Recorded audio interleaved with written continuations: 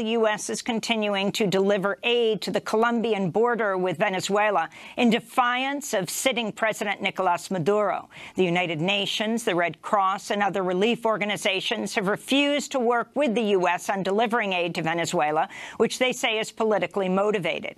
The AP is reporting U.S. military aircraft are now being used to transport U.S. supplies to the region. Opposition leader Juan Guaido spoke at a rally in Caracas Saturday, calling for a million volunteers to go and retrieve international aid at the border on February 23rd.